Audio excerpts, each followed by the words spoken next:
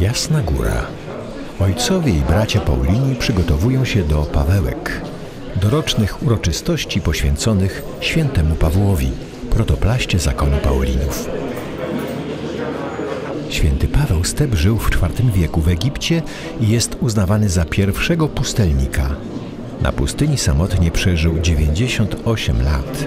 Ubierał się w liście palmowe, żywił owocami, daktylami. Według legendy kruk przynosił mu codziennie chleb, a po śmierci lwy wykopały mu grób.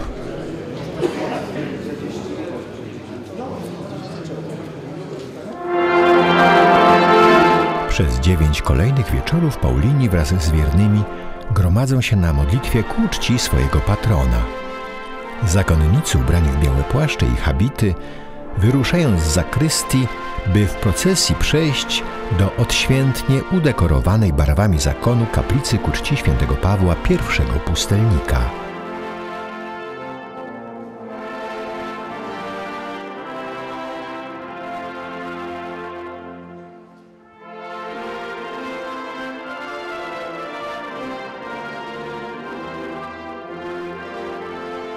Ale to nie święty Paweł jest założycielem zakonu. 900 lat po jego śmierci na Węgrzech błogosławiony Eusebiusz z Ostrzychomia zebrał mnichów żyjących samotnie w lasach Pecz i doprowadził do założenia wspólnoty zakonnej. Śniło mu się, że pojawiają się małe ogniki, które potem łączą się w wielki jeden ogień. Zrozumiał, że to są te małe pojedyncze wspólnoty albo osoby, które żyją y, jako pustelnicy nad Dunajem i potrzeba, żeby on y, je zgromadził w jeden wielki ogień. Oczywiście ogień jako symbol Ducha Świętego, jako ten, który, który ostatecznie zainspirował mm, ojca Eusebiusza do, tak, do tego charyzmatycznego i odważnego dzieła, jakim było zrezygnowanie z katedry ostrzechomskiej i pójście e, w, właśnie w niepewność, w życie pustelnicze, e, życie bardzo mm, e, naznaczone ofiarą. To, to, to, to mógł tylko spowodować Duch Święty i ten Duch Święty jest wciąż obecny w tej naszej historii, no bardzo długiej, bo ponad już 750-letniej. Za patrona i duchowego przewodnika obrali sobie oni świętego Pawła, pierwszego pustelnika. To był początek, który potem wymusił napisanie reguły, e, zatwierdzenie przez papieża, to już 1308 rok. E, I pierwsze klasztory rozrastają się właśnie na Węgrzech, można powiedzieć, jak grzyby po deszczu, bo wszyscy oczekują tej właśnie radykalnej formy życia, e, sam na sam z Bogiem. Pierwsza wspólnota nazywała się Braćmi Świętego Krzyża. To był, można powiedzieć, pierwszy charyzmat pustelników żyjących we wspólnocie radykalnie, których łączyła również reguła, dziwna reguła, bo reguła świętego Augustyna. Oczywiście oddanie Matce Bożej to te dwa filary, y, krzyż i Maryja, która prowadzi do Jezusa, która y, pozwala żyć w ofierze. Celem zakonu od początku była kontemplacja, modlitwa, pokuta, upowszechnianie kultu maryjnego oraz sprawowanie sakramentu pokuty i pojednania. Wspólnoty paulińskie szybko rozprzestrzeniły się na Węgrzech i Półwyspie Bałkańskim, w Polsce, Austrii, Niemczech. Znane były także we Włoszech, Francji, Hiszpanii, Portugalii, skąd dotarły do Ameryki Południowej wraz z pierwszymi pionierami chrześcijaństwa. Najazd Turków, a później reformacja spowodowały upadek zakonu na Węgrzech. Główna siedziba przeniosła się w XVII wieku do Polski na Jasną Górę. Kasaty zakonów w XIX wieku dotknęły także Paulinów. W XIX wieku istniały już tylko dwa klasztory na Jasnej Górze i w Krakowie na Skałce.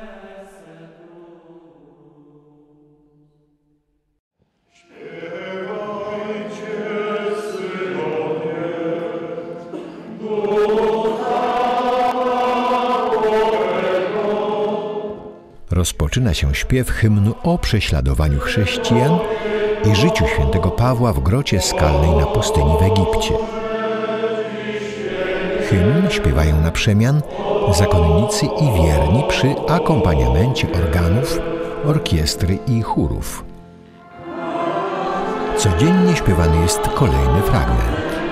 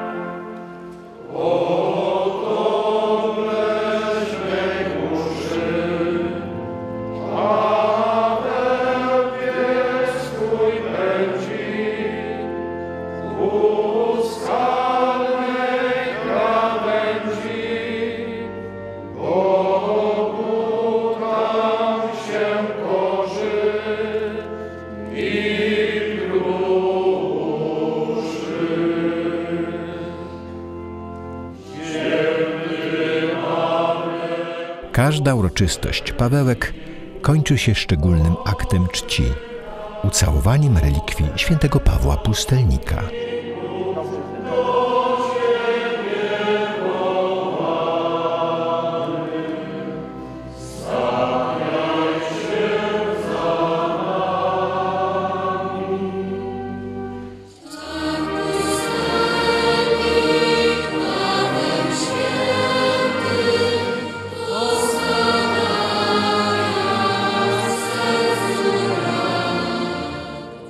Święty Paweł Pustelnik w popularnej tradycji jest uznawany za szczególnego patrona i opiekuna kobiet w ciąży lub pragnących mieć potomstwo. Ma także roztaczać szczególną opiekę nad dziećmi.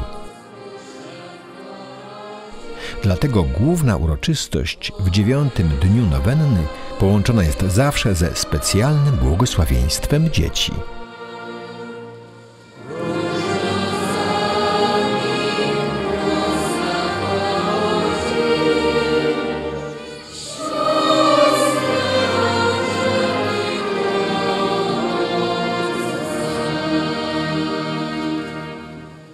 Ojcze Święty, za wstawiennictwem świętego Pawła I pustelnika, ześlij na nie swoje błogosławieństwo, aby kiedy dorosną, pełniły wśród ludzi dobre czyny, słuchały natchnień Ducha Świętego i przez to były świadkami, głosicielami i obrońcami wiary przez Chrystusa Pana naszego.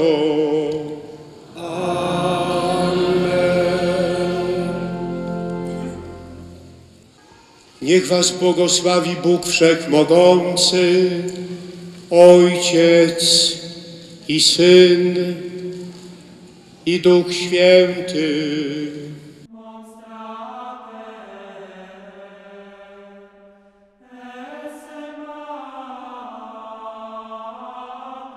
Podczas uroczystości błogosławione jest każde dziecko.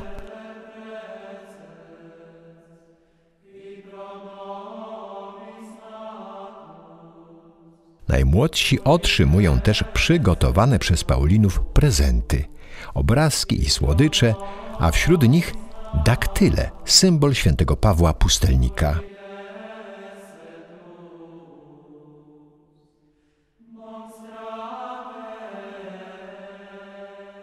W chwili obecnej zakon świętego Pawła I Pustelnika liczy sobie około 500 zakonników posługujących w kilkudziesięciu klasztorach w Polsce i w Europie, a także w Stanach Zjednoczonych i Australii.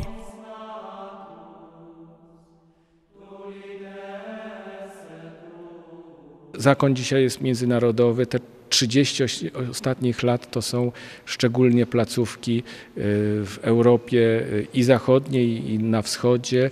Y, myślę, że dziś jakaś jedna trzecia zakonu to dzisiaj już właśnie domy gdzie są bracia obcokrajowcy, moglibyśmy powiedzieć. To bardzo dobre doświadczenie, że z zakonu typowo polskiego dzisiaj jesteśmy zakonem międzynarodowym. To wymagało od nas wszystkich dużego przekształcenia, żebyśmy mogli się otwierać na też duszpasterstwo, nie tylko polskie, maryjne, e, ale duszpasterstwo, które wyjdzie naprzeciw tamtym e, potrzebom, tamtemu kościołowi. Pauliński e, charyzmat rozszerza się i zapewne ani święty Paweł, ani błogosławiony Eusebiusz, ani nasi ojcowie, którzy żyli 100 lat temu, w ten sposób nie myśleli, że gdzieś Paulini w XXI wieku będą e, posługiwać e, w tylu krajach. Jest to naprawdę ogromne błogosławieństwo Boże, za które winniśmy dziękować. Poprzez wieki zmieniał się duchowy profil zakonu i jego posłannictwo. Z pustelniczego charakteru pierwotnej wspólnoty z biegiem czasu nabrał cech wspólnoty kontemplacyjno-czynnej. Charyzmat zakonu Paulinów zawiera się w szerokiej grupie cech. Są to kontemplacja Boga w samotności, umiłowanie modlitwy liturgicznej i pokuty, kult maryjny, działalność duszpasterska jako służba pielgrzymującemu ludowi Bożemu. Zawołaniem zakonu jest cały czas solus cum deo solo, sam na sam z Bogiem.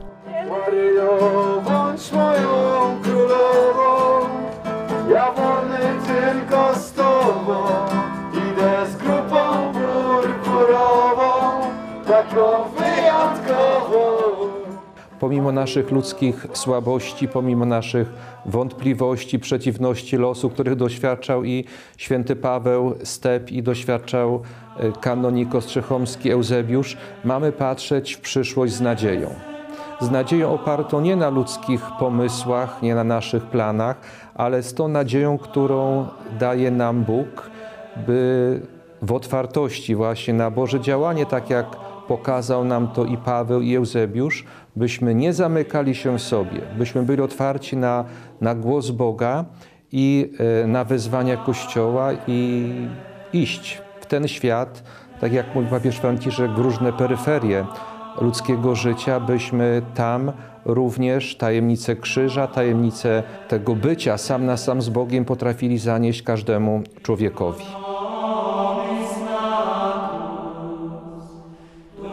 Amen.